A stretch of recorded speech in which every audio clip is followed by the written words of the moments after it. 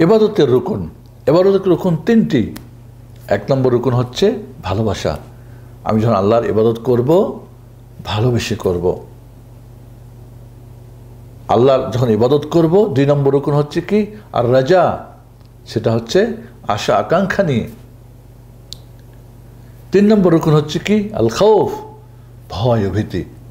যখন আমি ইবাদত করব, ভালোবেসে ভালোবেসে ইবাদত করব।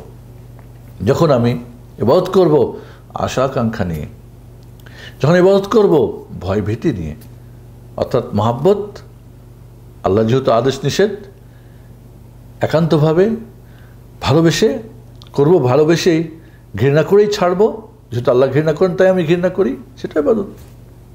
সেটাকে আমি আশা আকাঙ্ক্ষা নিয়ে আমি করব কিছু পাওয়ার জন্যে। এবং ভয় ভীতিও থাকবে। ভালো কাজ করব, কারণ আল্লাহ না করলে করব এই জন্যে যে আমি অনেক কিছু পাবো দুনিয়া আখেরাতে খারাপ খবর ছাড়বো এই জন্যে যে এই ছাড়ার মধ্যে আল্লাহর আমি ভালোবাসা অর্জন করব। আমি তাকে ভালোবেসে করব। তাহলে এবাদতটা যখন ভালোবাসা, আশাকাঙ্ক্ষা, ভয়ভীতি সহকারে হবে, তখন এবাদত হবে, নইলে হবে না